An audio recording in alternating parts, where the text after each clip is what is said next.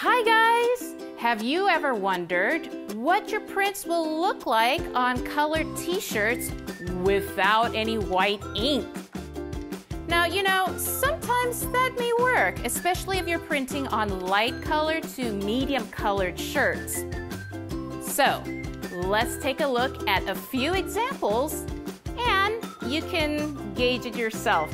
Here's one that I did on a gray shirt and this is without white ink. Now, here's a gray shirt with the same graphics, but this time with white inks. See how the colors are more vibrant.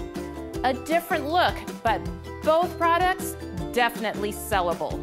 Look at this yellow shirt without any white ink. Look at this one with white ink. The colors pop, there are no color shifts. So this looks great as well.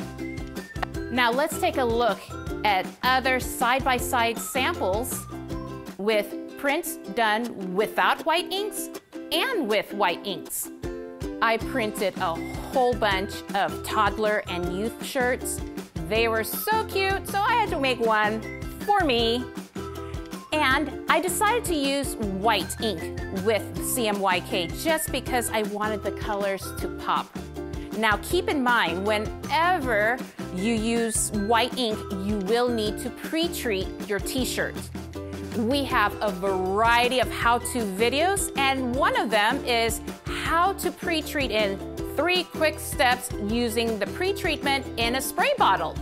And that's the method I used before I printed all these shirts with white ink.